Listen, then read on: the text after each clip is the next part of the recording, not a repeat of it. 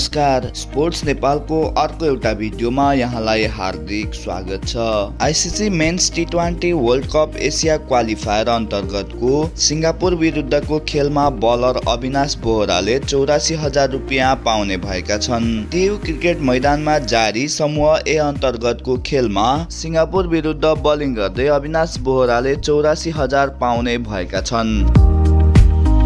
दर्शकवृन्द विश्वकप छनौट अन्तर्गतको खेलमा खेलाडीहरूलाई प्रोत्साहन गर्ने नीति अनुसार अर्ना बियरले प्रत्येक विकेटमा पच्चिस हजार रुपियाँ दिने उद्घोष गरेको थियो। यस्तै गरी प्रति डट बलमा समेत एक हजार रुपियाँ अर्नाको घोषणा रहेको थियो। सिङ्गापुर विरुद्धको खेलमा अविनाश बोहराले तीन विकेट लिँदै सबैभन्दा धेरै विकेट लिने खेलाडीको रूपमा रहेका थिए। त्यस्तै उनले नौवटा डट बल पनि फालेका थिए। त्यसपछि समान दुई दुई विकेट लिँदै समान तेह्र तेह्र डट बल फालेका सन्दीप लामिछाने र गुलसन झाले पनि त्रिसठी त्रिसठी हजार पाउने भएका छन्। मूलपानी र टियु मैदानमा सम्पन्न त्रिदेशीय प्रतियोगिता नखेलेका लामिछाने विश्वकप छनौटको खेलमा भने मैदान फर्किएका थिए। त्यसपछि दुई विकेट लिँदै एघार डट बल फालेका करण केसीले एकसठी हजार रुपियाँ पाउने भएका छन्। हिजो विकेटविहीन रहेका सोमपाल कामीले तेह्र डट बल फालेका थिए। हरेक डट बलको एक हजारको दरले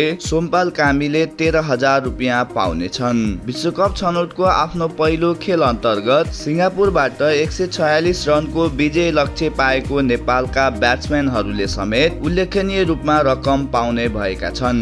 अर्ना बियरले ब्याट्सम्यानहरूलाई प्रति रनमा एक हजार रुपियाँ दिने उद्घोष गरेको थियो। त्यस्तै कम्पनीले प्रति चौका दस हजार र प्रति छक्का बिस हजार रुपियाँ दिने उद्घोष गरेको थियो। साथै प्रति चौका र छक्कामा बनेको गरेको रन सिङ्गल रनमा समेत गणना हुने अर्नाको उद्घोष रहेको थियो। सुरुवाती ब्याटिङ गर्दै सिङ्गापुरले दिएको एक सय छयालिस रनको लक्ष्य पछ्याउने क्रममा ओपनिङ ब्याट्सम्यान कुशल भुटेलले सबैभन्दा धेरै रकम पाउने भएका छन्। उनले अडचालिस बलको सामना गर्दै आठ चौका र दुई छक्का प्रहार गर्दै चौरात्तर रन बनाएका थिए।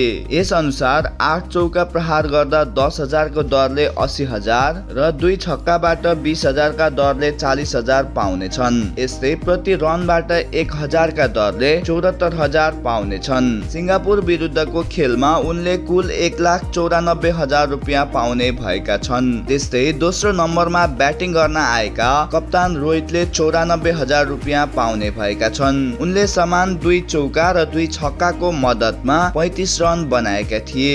यसबाहेक दुई छक्का र एक चौकाको सहयोगमा सत्ताइस रन बनाएका आसिफ शेखले सतहत्तर हजार रुपियाँ पाउने भएका छन्। अन्तिममा ब्याटिङ गर्न आएका कुशल मल्लले छब्बिस हजार रुपियाँ पाउने छन्। उनले पहिलो बलमै छक्का प्रहार गर्दै छ रन जोडेर नेपाललाई दुई अङ्क दिलाएका थिए। कम्पनीको उद्घोष अनुसार आज सिङ्गापुर विरुद्ध बलिङ गरेका सबै बलरले कुल दुई लाख चौरात्तर हजार रुपियाँ र ब्याट्सम्यानहरूले तिन लाख बयानब्बे हजार रुपियाँ पाउनेछन् दर्शकवृन्द अर्ना बियरको यो अभियान हजुरलाई कस्तो लाग्यो? त्यस्तै आज हामीले प्रस्तुत गरेको भिडियो यहाँलाई कस्तो लाग्यो? सुझाव सल्लाह र प्रतिक्रिया दिन नभुल्नुहोला। त्यस्तै नेपाली खेलकुद सम्बन्धी अन्य सम्पूर्ण जानकारीको लागि हाम्रो च्यानललाई सब्सक्राइब गरी हामी सँगै रहनुहोला।